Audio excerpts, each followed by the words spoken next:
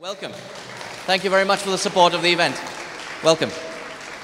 Thank you very much. And thank you, Denise, for a great presentation. And you gave me some inspiration now. So, um, it was a warm, sunny day, a bit like today, four years ago. I'd been working on the BlackBerry ad platform, and BlackBerry were clearly moving away. They were going to go to Google's ad platform. So I decided it was time to look for some work. I, um, I was the engineering director for this really, truly magnificent project, really a scalable, Amazon-based ad platform um, that was built by these guys in Toronto, Athens, Ukraine. And I was not sure I would find something equivalent, a challenging job. So I started looking through LinkedIn I had um, some interesting positions I saw, nothing great, but then I saw a cluster of jobs on this one company I didn't know about. I looked and I saw this guy, Marios, I used to work with. I saw Irini and Zisis also working, two top level developers. Yeah, there you go. Uh, my stars in my team at, at Velti.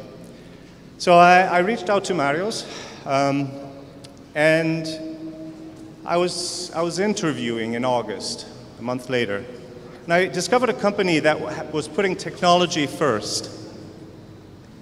Not only technology first, but also were on a great mission. It was a secret. And in October, I joined as a technical product manager, a director of technical project management. It was a shift in the role, but it was a shift I accepted because I knew I would be challenged in my engineering skills. So, oh, I'm on the wrong slide. There we go. Yeah. Oh, that's the slide I was supposed to be on. Anyways, it was a warm and sunny day. And um, this is our mission. So we're truly putting technology first, but for a very important mission. The most important content in the world is medical, scientific, technical, engineering research.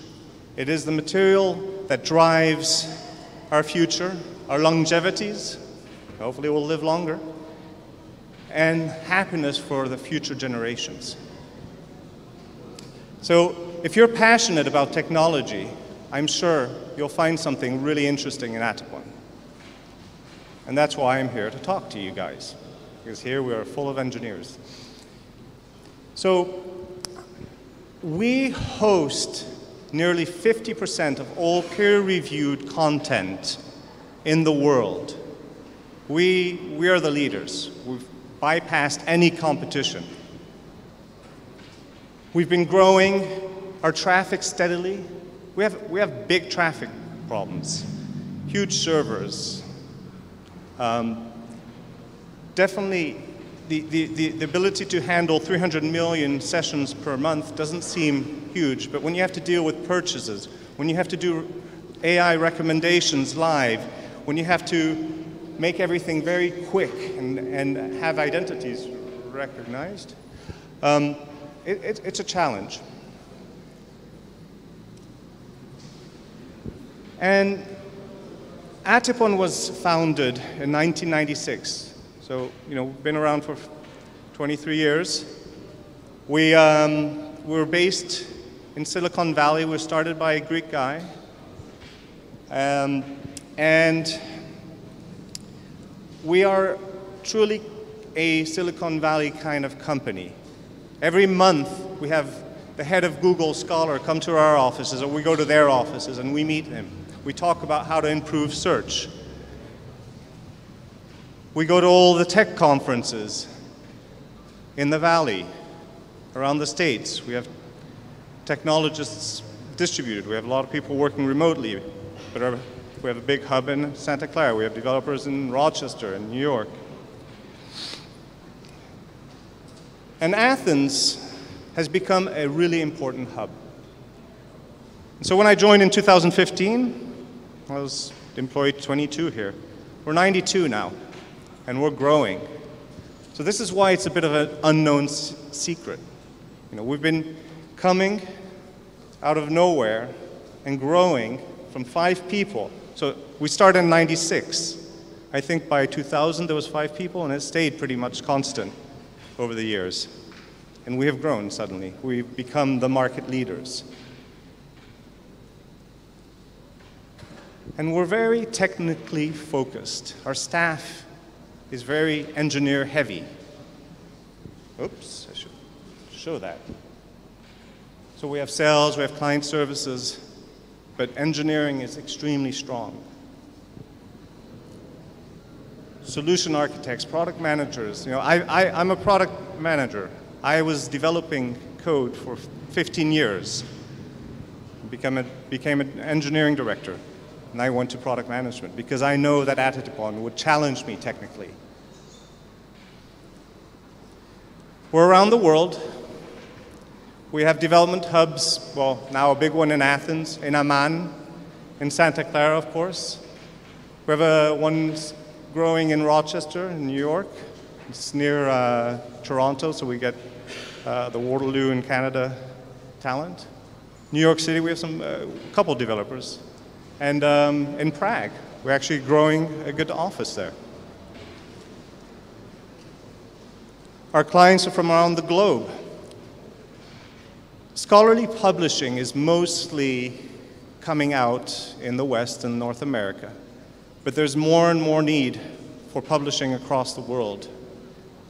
And so we're starting to have clients come from different parts of the world and say, you know, we want to make our things, our research available online. How can you help us? How can you make it easily discoverable? On our stack side, we're very Java centric, and, but we, we, we, we cover everything. And, and the technology that doesn't necessarily matter. We need and we want and we have talent, people who understand what coding is, how to make algorithm, what are the best practices. In Athens, we have a core technology team. They're building the content system. We have tough problems to solve. You know, how to optimize storage, how to do distributed uh, processing, clusters, sending events. These are, these are really good problems to have. Our search technology is also based in Athens. Doing some awesome stuff there. AI has been in that solution for the last 10 years. We've won awards from the search quality for scholarly content. And as Google may help researchers hunt for content, our search engine and our alerting engine allows researchers to gather content. So we've, we're taking it a next step. Google is important, but our search is something else. And Literatum's a flagship product. That's what we install for all our publishers. That's where everything is hosted. It's a platform made of components loosely coupled.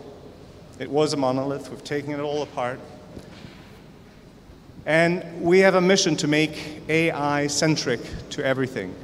We're placing it every, in everywhere. We, we had it in search. We're really good at that.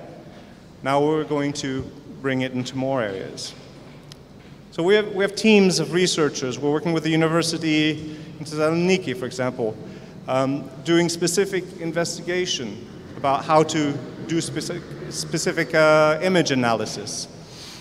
Um, and we have a vision to take all this data that we have and bring it together and infer knowledge from it using AI, machine learning, some of the techniques you saw there. So we're, we're building a team now. Um, actually, Irini, I talked about, is on that team. She transferred over. We're growing it. and We need people. So if you're interested, come talk to us. We also have done a lot of work in our automation. So um, we used to have everything sort of homegrown scripts and all this. In the last three, four years, um, I, I, I, invited Haris Dimitriou, who's speaking tomorrow, um, to go and join Atypon. And he came and he converted everything so that we actually are standards, we're scalable, we are truly DevOps now. We've actually deployed our in house Kubernetes cluster about a month ago, and it's up and running. We've also taken um, testing very seriously. We're automating everything and we're adding behavioral driven, behavior driven development into our pipeline. I hired Yanis three years ago, and we, we built up Testipon. He, he, he coded a platform that now we have thousands of scenarios written in Gherkin, running through Cucumber, giving us results and alert reports every day. We fully automate everything. We're working on it. Manual testing exists still, of course. And we're also reorganizing ourselves this year. So we're, we're, we were traditionally a very flat hierarchy, um, Silicon Valley style, you know, tribe centric, but we've grown. So now we've, we're adopting the Spotify model.